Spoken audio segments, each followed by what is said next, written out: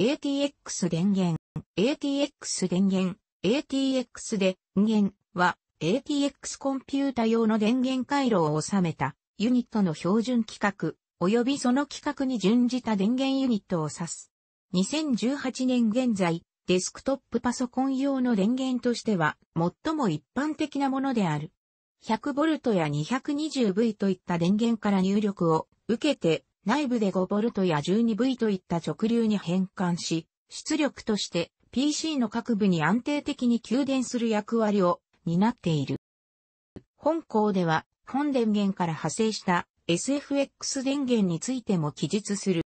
1995年に米インテル社が従来の AT 規格に代わり、マザーボードや電源ユニットなどを含む構造規格として ATX 規格を制定した。ATX 電源はその標準規格に準拠して設計、製造された電源ユニットである。取り付けネジの位置や PC 筐体における開口部の形状制限、供給電圧、制御信号、コネクタなどは規定されているが、形状はあまり規定されてはおらず、特に供給する電流値は規定されていないため、多様な供給能力の製品が存在する。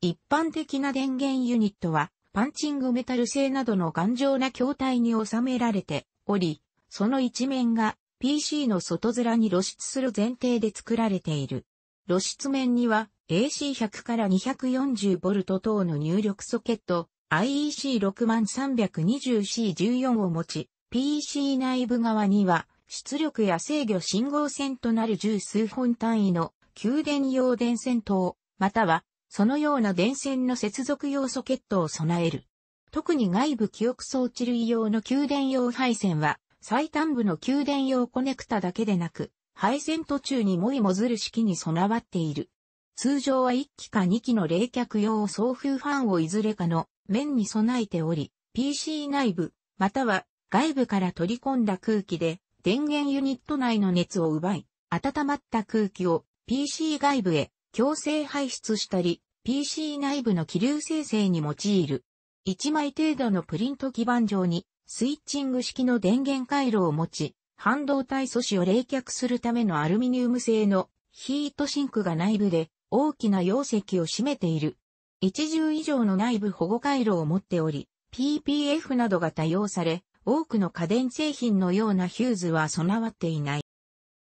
ATX 電源は市販のデスクトップ PC に組み込まれている他にも自作パソコン向けや既存製品の改造、修理用などとしてユニット単体がパソコンショップ等で販売されている。ATX 電源は総出力や電力変換効率といった電気的な性能の他にも冷却機構の差などに起因する静音性やコンデンサの品質などに起因する信頼性と寿命の差、配線ケーブルの取り回しや装飾的な機能を含むオプションの有無など多様な製品が存在し、これらの要素によって価格も大きく異なる。安い製品では2000円前後から高価なものでは数万円のものまで存在し、高級品ではおおむね保証期間が長く設定されている。120mm ファン等の大型の冷却ファンが搭載されている製品では、急排気するためにファン側に隙間が必要になる。しかしながら、一部の PC ケースでは、電源取り付け用ネジ穴の位置が、電源の上下逆さまの取り付けに対応していない場合があるため、電源との組み合わせでファン側が板金で塞がれてしまうことがあるため注意が必要。欧州連合理事会と欧州議会がエネルギー使用製品のエコデザインに関する指令として知られるプ指令及びその対象範囲を広げたエネルギー関連製品のエコデザイン指令つまり EHP 指令がそれぞれ告示、発行されたことによって欧州域内で使用、販売される広範な電気製品類のエネルギー消費に関する規定が設けられた。この規定によって欧州域で用いられる可能性がある ATX 電源は、プ指令の中でのロト6、オフモード、待機モード電力消費量基準で示される、オフモードでの消費電力と待機モードの消費電力が、それぞれ 1.00W を超過しないという基準値に適合することが求められるようになった。一般的な ATX 電源には主に以下のようなコネクタが搭載されている。この他に各社の製品の独自機能としてケースファン電源供給コネクタ、電源ファン回転数検出用コネクタなどを装備するものもある。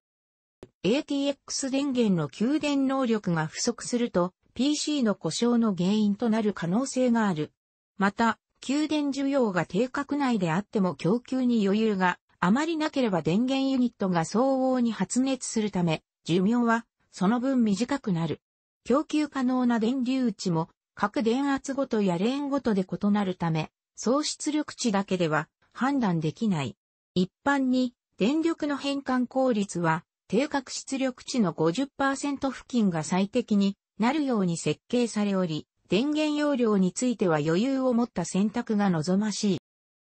プラス 5VSB は、シャットダウン後、アクッピー S3 ないし、S4 モードも待機電力として常にマザーボードなどに供給され続けているため、部品交換など PC 筐体内部に触れるときに主電源スイッチをオフにするか電源プラグを抜くことを怠ると故障の原因となる恐れがある。また、主電源を切ってもしばらくはコンデンサなどに電気が蓄えられているため、異常な電気的負荷を内部部品にかけることで故障や寿命短縮しないように PC 内部の作業時には主電源を切ってから電源ボタンを空押しすべきとされる。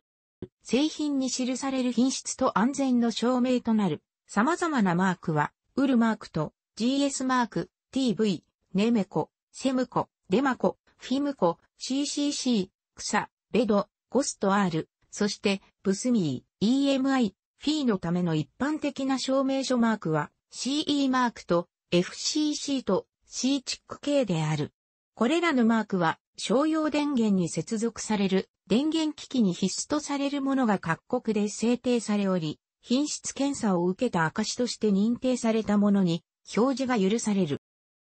電源変換効率の性能差によって製品を分類するものとして80プラスというグレード分けがある。この分類規定を満たすことによって省エネルギー性が示されるため ATX 電源製品の優秀性を示す尺度として商品の宣伝などで用いられている。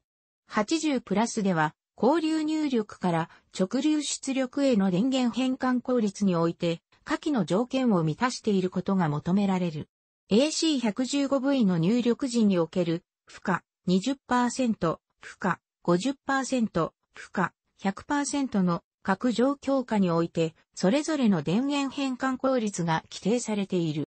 右側の 230V はデータセンターなどで用いられる上長電源システムでの規定である。プラス 12V の負荷が非常に小さくなった状況下でプラス 3.3V、プラス 5V の負荷が大きい場合、従来の電源ユニットでは出力が不安定となり、システムが不安定となる場合がある。2013年頃発売のインテルの第4世代 CPU であるハスウェルファミリー以 CPU やシステム全体の低消費電力化がより顕著になったため、前述の問題が顕著になっている。また、 ACPI の C ステート C6、C7 においてプラス 12V の最小電流 0.05A をサポートする必要がある。GPU の CPU 内蔵化、すなわちグラフィックボード不使用や PC のストレージが HDD から SSD に移行したことでプラス 12V の消費が従来よりも減っているプラス 12V を SSD は使用しないことも原因となっている。以上のような状況を背景とし、前述の状況下でも安定した出力を行える電源ユニットをハスウェル対応として歌っている製品がある。SFX 電源は小型 PC 用のマイケロワッチ規格に準じた電源ユニットである。ATX 電源よりも小型化され、マイナス5ボルト出力が省略されている。電源出力も、おおむね 100W から 400W 程度と、ATX 電源よりも小出力である。中には、ATX 電源互換のマウンタが付属している製品もある。SFX と SFX はファンの厚みが 17.1mm となっており、空冷ファンが下部に出っ張っている。楽しくご覧になりましたら、購読と良いです。クリックしてください。